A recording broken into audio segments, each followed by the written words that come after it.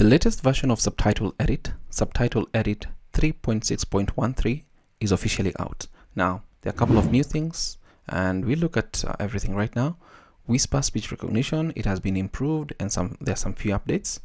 And then there's a find replace window, uh, a couple of things here. So let's just open the changelog, uh, uh, this particular one here. And I'll just look at the few new things. There's a new subtitle format and Vivo transcript. There is also Whisper C Translate 2. It's also available. There is also Whisper X. That's also available. And you can add proper case option in change casing. That's also a new option. Add a shortcut for text, color picker. And then we have add shortcut for three seconds forward. That's also available. And also add more MPV preview settings in UI.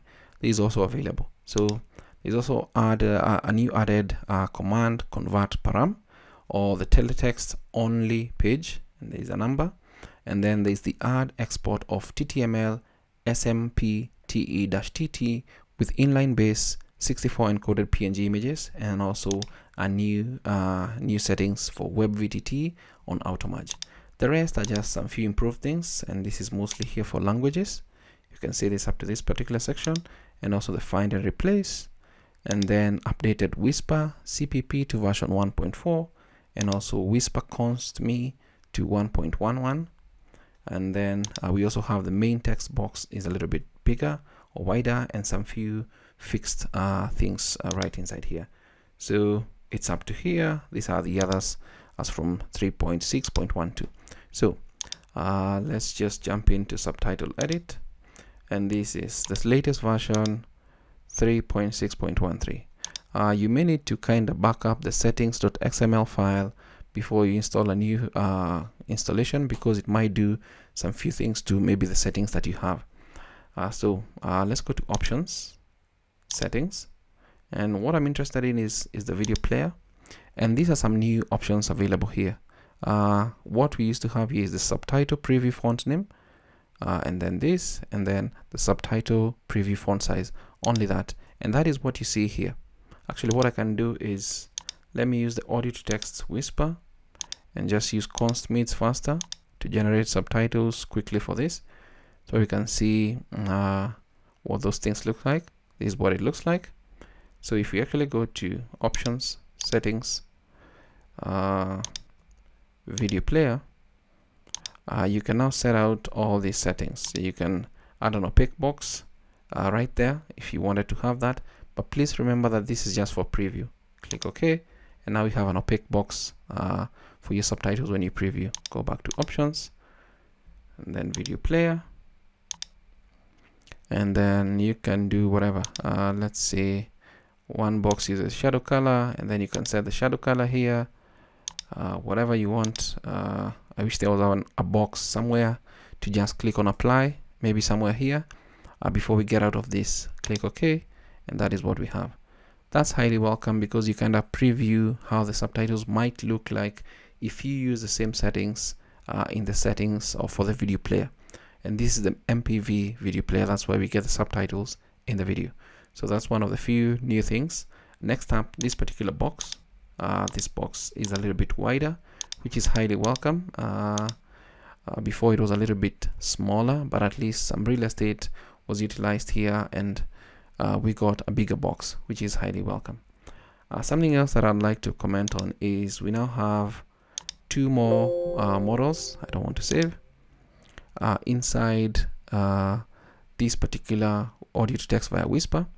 And we had OpenAI in subtitle edit 3.6.12 OpenAI CPP constme now we have C translate 2 which is uh, highly welcome as well if you click on this yeah, it may prompt you to install some few things and I'll show you in a, in a little bit where you need to go to get all that information.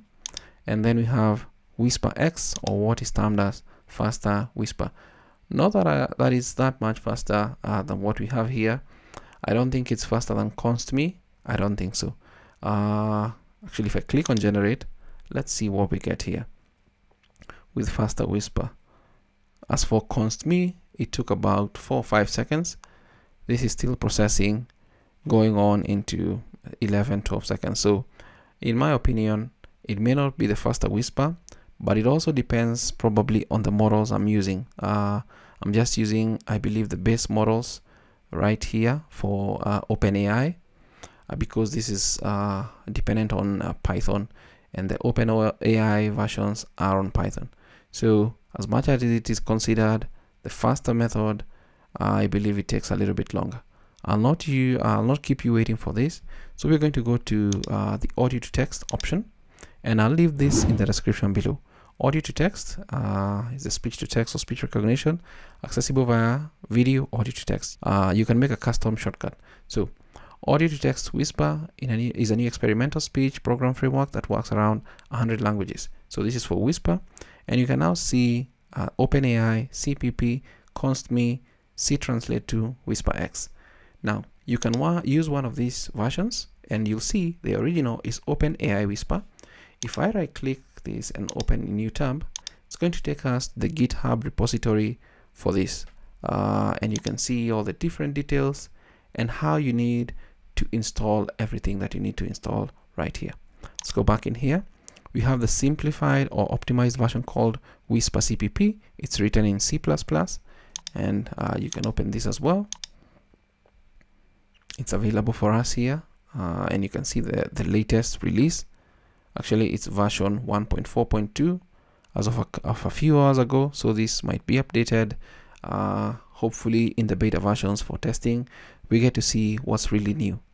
Next up, we have the GPU optimized version called Whisper Const Me, written in C++. And if we look at it, you can see that this also eh, was updated last week and it's on version 1.1, uh, version 1.11. And then we've got Whisper CTranslate 2, also known as Faster Whisper. Actually, I confused that with uh, Whisper X. And then we can open this uh, it's also still available here. Latest version uh, as of two weeks ago. And you can see it here. And the different installations are available for all of us here to install and see how it works. Next up we can go ahead and look at whisper x. This requires Python.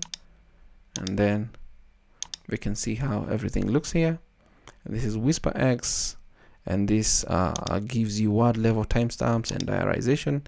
Etc uh, looks they say it's uh, batched inference for 70x real-time transcription with Whisper large uh, model. Probably that could be the, the reason. Accurate word level timings using wave 2 alignment and so on and so forth. And you can see the breakdown right here. So uh, you create python this is just a lot of things. But if you come to this particular section here uh, right about here to install and run the OpenAI Python version, you will need the following. You can click on the installation notes right here. It takes you straight uh, to the setup right here for Python. And for Python, Python is actually being used in OpenAI, CTranslate 2, and Whisper X. So that is something that you need to take a note of. And then before installing Whisper Python versions, do install Python and remember to check add python to path. You might also need to install git or git. And then you may need uh, ma uh, to manually uh, download uh, links for open python. And this we have the tiny base and so on and so forth. So the requirements vary depending on whisper engine and model. The large model can require up to 16 GB of RAM. Whisper cpp or constme requires a newer cpu with avx instruction set. If you do not want to install python Purfview has a Whisper OpenAI and Whisper Translate compiled binaries right here. Note, a Whisper log is written to the file error underscore log.txt in the SE data folder. Press Ctrl Alt Shift D in the SE or subtitle edit main window to open the SE data folder. So those are the different models of Whisper available and the different installations. So you'll need to install Python and then check add path to Python, uh, Python to path. And then you may also need to install Git so that all these different commands that you are installing here and uh, all these commands right here, which are pretty simple to install. Uh, let's see. uh, they're pretty they're pretty pretty simple uh, to work with uh, this looks a little bit complicated but it's pretty simple but for Whisper uh, CPP uh, especially for this one uh, the installation is flawless because it's based on CPP as the same for this one Whisper const me is also very very simple to work with that. As for this one this is C translate 2 you have this particular installation command that uh, you run on cmd and then just install it once you have python and git so you just do that. If it's not available it's going to look at everything. If it finds it it tells you hey uh, it's available. Uh, there's a new release of pip you can update this if you want. Really depends on that. So i feel that uh, that's a good kind of overview of the latest subtitle edit 3.6.13 and mostly it was based on things like Whisper, improving how it works, uh, and then some few minor changes uh, to the UI and everything. Uh, so see what happened because I'm assuming it's because uh, there's some few things I need to install for this particular version of Whisper that I set out to use. That is the Whisper X. I believe there's some few things I need to install. That's why it gave me the not found. But simply put, that's what's new in Subtitle Edit 3.6.13. I hope this video is of value to you. Thanks for watching.